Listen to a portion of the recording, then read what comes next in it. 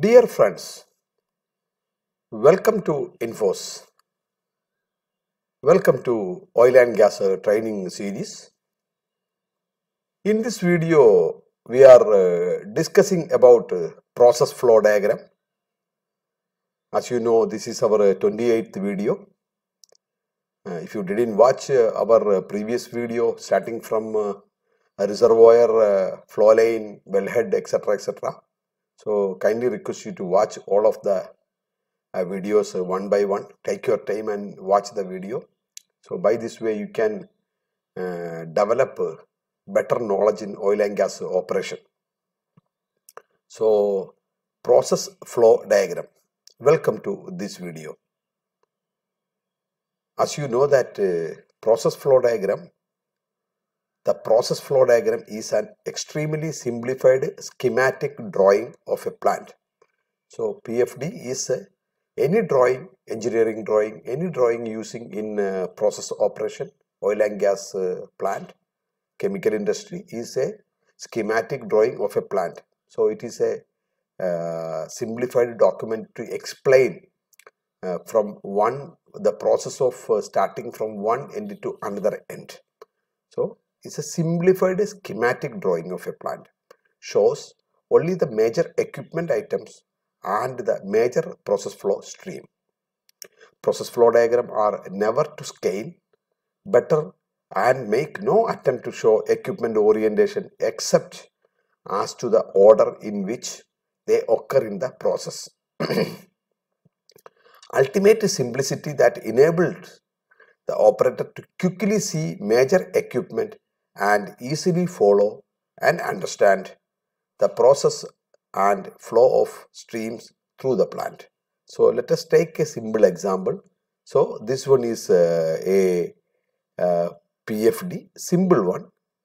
Uh, we cannot uh, say that 100% uh, exact PFD, it is a simplified one. So let us see that one from always PFD starting from one end that is a left side so the entry point is there, the feed is entry, and the column uh, uh, standard symbols are using here. So see the valve we use this symbol, line we use this symbol, and a tower using this symbol, heat exchanger using this symbol, pump using this symbol, uh, sorry, pump using this symbol, and uh, reboiler is using this symbol, and a small tank or uh, a vessel is using uh, reflux, uh, drum is using this separator. So this, this, this way, etc., etc. Uh, we are going to study in detail this one, all the symbols, almost all the symbols we are using in uh, explaining um, drawing PFD and uh, P- P and ID. We will uh, study in our uh, coming uh, videos. So, so in PFD also we use uh, most of the time we use uh, standard symbols recommended by uh, various uh, uh, companies and various standard institutions.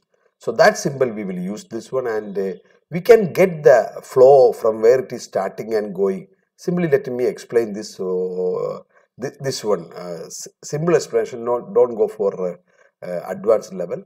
So the feed is entering from here and uh, the sour gas is entering and sweet gas is going up. So that that the end of this one and then makeup water is entering here and uh, rich amine is uh, settling here. So, after the separation one chemical is uh, separating one of the component.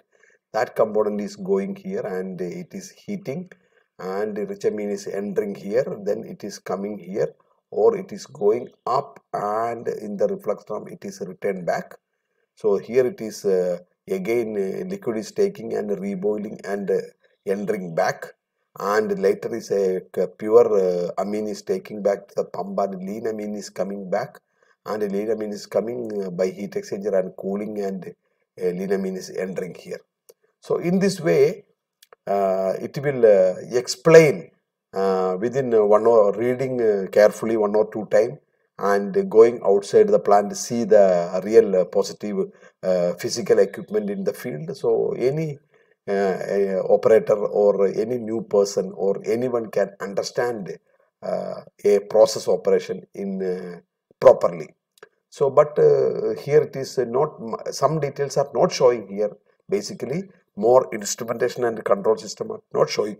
But basic understandings are here So absorber, uh, sometime they will give operating ranges and regenerator temperature and uh, pressure also given. Here see it is written absorber 35 to 50 degree C and 5 to 205 atmosphere absolute pressure. That is the operating range of absorber.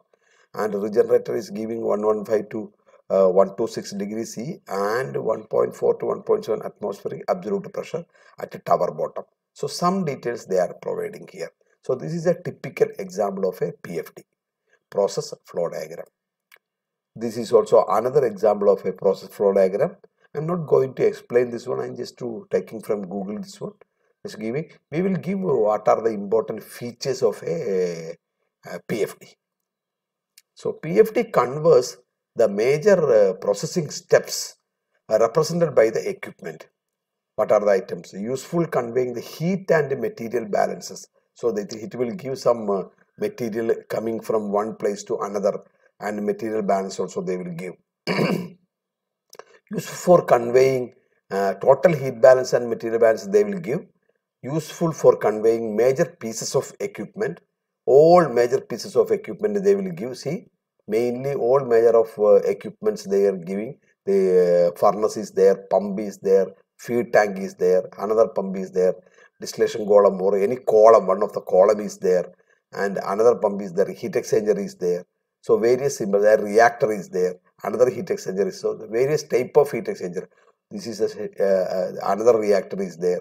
So product tank is there. So etc etc. Like they will give uh, useful for conveying major pieces of equipment and useful for conveying processing conditions also.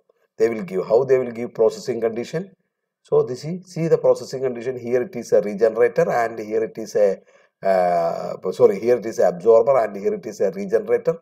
And process condition what is happening one by one they will give. How it is going and what it is happening reactions also. Some chemical uh, reaction also they will give.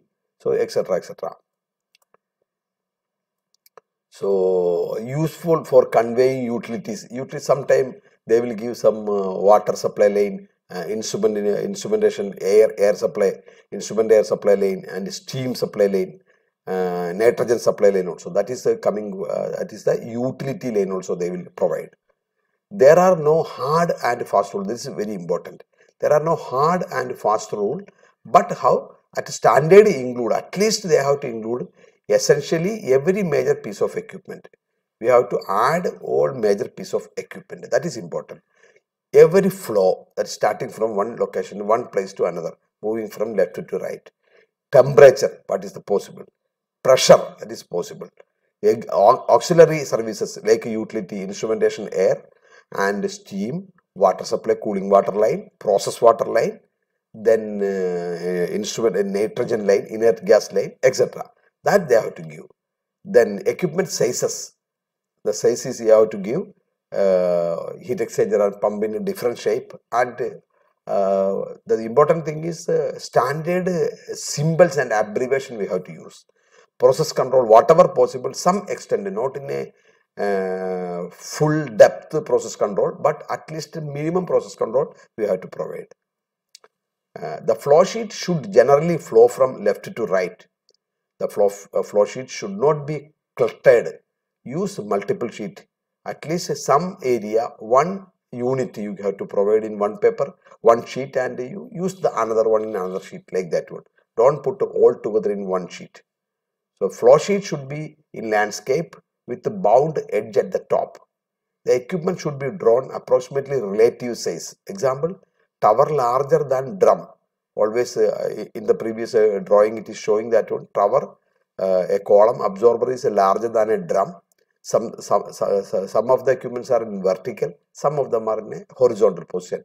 So that type of uh, symbol, uh, basic uh, uh, design features or basic information you have to provide in a proper way. Exchanges larger than pump etc. The major towers and reactors are generally in one, nearly one level. So uh, says also the positions also providing some uh, always in the same level. The reader should be able to follow it with his or her eye. the stream should be have minimum of uh, direction of change always they will provide a direction change the streams that enter across the battery limit should be on left the which is entering from the feed first uh, entry point the stream that leave across the battery limit should be on the right the streams that move to the next sheet should leave to the right the stream that recycle to earlier sheet should leave on the left so these informations are you keep in the mind uh, just to go uh, into your plant in your uh, processing area collect your PFD, read and understand and always use the standard symbols. Anyhow, we will take a standard symbols. Most of the recommended symbols are practicing here. So you will get a clear idea on that one. So after that one, you can made your own PFD.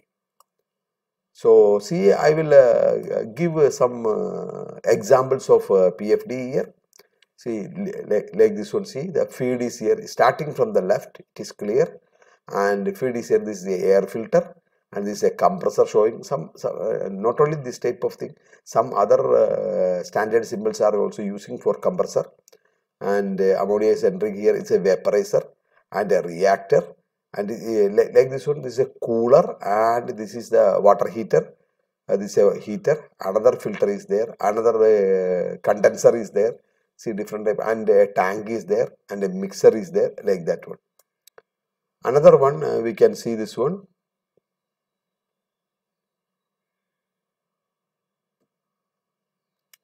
Let me take a this one uh, see we will take uh, in this one see crude oil. It's a atmospheric distillation column. Gas is coming. Gas processing. Like that one. Here uh, you see here only square boxes or rectangle boxes using. Uh, but this is also uh, see the standard uh, hard and fast rule is not there. So this is also you can consider as a pfd so this one is explaining about a, a refinery from the crude uh, crude oil is entering to the atmospheric uh, distillation column and from that one various uh, uh, value added product is uh, developing and processing like this one LPG and butane, light naphtha, heavy naphtha, jet fuel, diesel oil and atmospheric gas oil. So various that one. Don't go for details this one. So this way also you can explain, you can simplify a PFD. That is what uh, I want to clear it here. Okay. So another one is uh, another one look at this one uh, this one vaporizer. See here it is using some like look like a 3d image. That also possible simplified. But uh, the thing is the flow should be uh, clearly understanding. A, a, newcomer if a new person to read this one at least he has to understand that only here vaporizer is there filter is there and uh, nitrogen air mixer is there catalyst recovery chamber is there condenser is there and some valve is there. Like that one at least he need a, a, an air compressor is there. Like that one he need to he should clearly understand that one oh this is the process. This type of equipments are there in the field. So before reading detailed uh, P and ID the person can get an idea about uh, uh, process how the process is flowing.